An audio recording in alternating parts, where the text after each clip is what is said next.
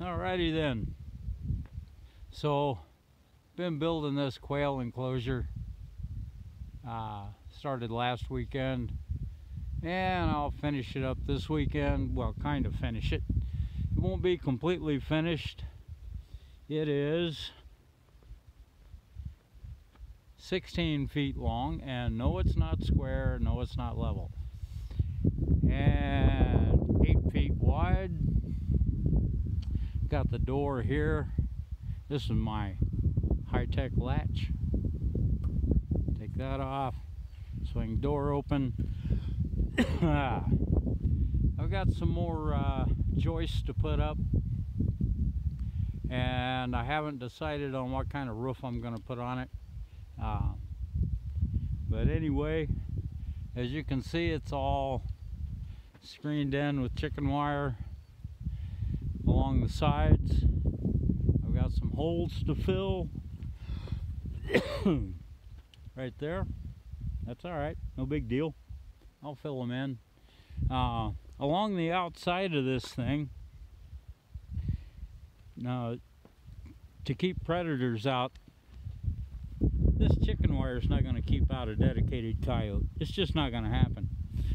So, all along the outside, I'm going to put plastic insulators all along here. And all along the outside I'm going to string three or four strands of electric fence wire. And then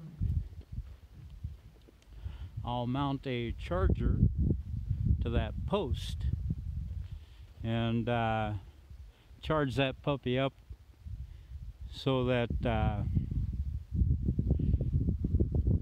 wire will be live along the ground right along in here.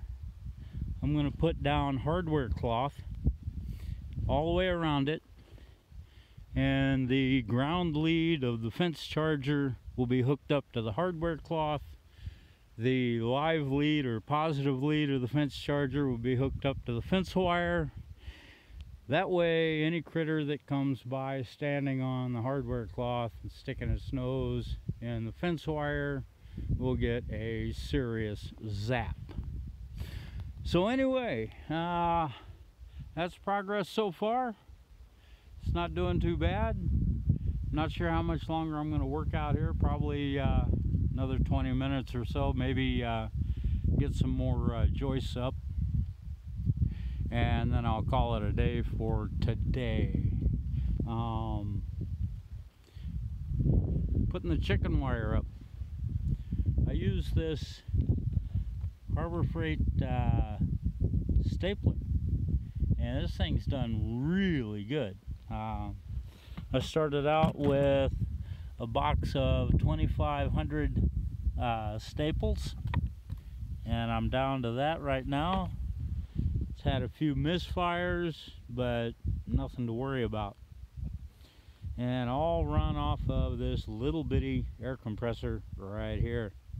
All right, that's it, folks. Later.